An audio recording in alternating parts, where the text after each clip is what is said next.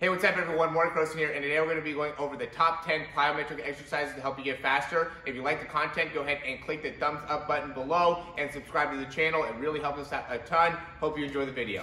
Okay, so here are going to be single leg broad jumps. So the big thing with this is when you're jumping, making sure that you're landing with the toes facing upwards the best you can. Make sure you're landing on the balls of your feet, which is more right here, not landing too much on your heels as you're going through the jumps. And then when you're jumping, you want to spend the least amount of time on the ground as possible as you can. You know, you're to go for about five jumps here, and then you could land on two feet. When landing, making sure when you're on one leg, don't let those, those the knee cave in too much. You want to keep everything nice and straight as you're landing on each one of those jumps. This one is a great one for ankle stabilization. So what you're going to do is you're going to jump up and then you're just going to turn 90 degrees. I like to have like a little small box to be able to jump into just to make sure that I'm able, I'm not going all over the place. I want to keep myself fairly balanced as I'm going all the way through. So you go four jumps in one direction and you go four jumps in the other direction, just making sure again, you're keeping good knee stability as you're going through each one of the jumps and you're landing on the balls of your feet, not on your heels, keeping your spine up the whole time. This one's going to be a max depth jump. So what you do here is you just step off with one leg, you land with two legs, and then you're just going to jump up as high as you possibly can.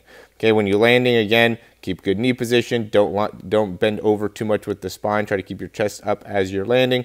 And big thing though is not jumping off of the box here. You just want to kind of step off the box, land, spend as the least amount of time on the ground as possible. So you load into it here. Um, you do want to bend your knees. You do want to load, but you don't want to be you know going into like a full squat and then jumping. You want to be able to load quick, jump all the way up. It's a plyometric exercise, which means that you're really working that stretch shortening cycle.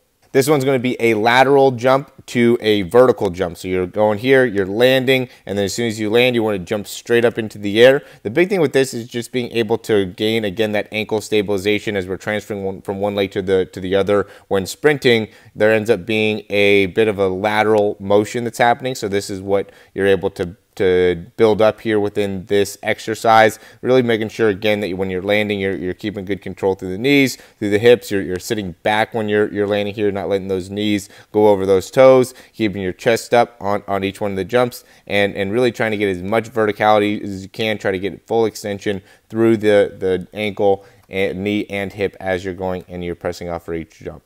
These are going to be bounds. So big thing with the bounds is just making sure you're getting full extension with that back leg as you're, you're coming out. I like to focus on getting a little bit more vertical when I'm doing my bound just because I, I really like to be able to work that, that leg cycle. But you can also work on getting a little bit more out in front of you or horizontal as well when you're doing these. Just you know it's not a ton about how fast you're going. It's really about being able to cycle those legs through get good extension on on each one of your steps and and make sure you're getting nice full arms as well as you're going through. So get trying to get those elbows up and arms all the way through hands all the way through. These are going to be power skips. So here it's similar. You're just landing you just make sure when you're landing here you're landing more on the balls of your feet and you're trying to get as much verticality as you can working your full arms. and making sure you're driving that knee all the way up as as well as you're going through each one of your actual steps here and you can see how you're transitioning. You kind of land right? So you jump off the right leg you kind of land for a second on the right leg again and then just transition right into the left. It really helps in being able to get that that vertical motion. This one's going to be single leg tuck jump so again just trying to to land as quick as you can